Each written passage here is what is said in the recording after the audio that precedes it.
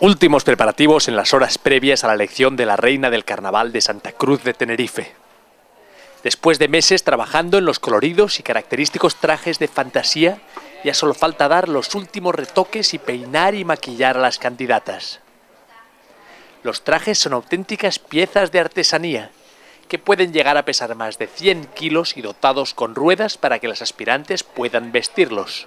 Hay que mantenerlo con la cadera, caminar con él Tienes que ir recta, mover los brazos, bailar, el casco, que no se te caiga. O sea que son muchas cosas que hay que, tener en cuenta. Lo más complicado fue montar esa estructura que, que se mantenga ahí en el aire.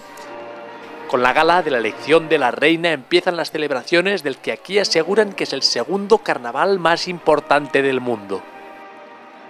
Santa Cruz de Tenerife y Río de Janeiro son ciudades hermanadas porque comparten una misma adoración por sus reinas y por su fiesta de carnaval.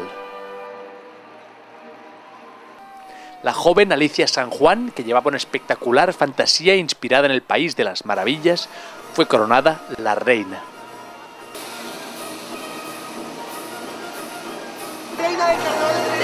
Todavía no me lo creo. Pues mucha felicidad, mucha alegría en este momento.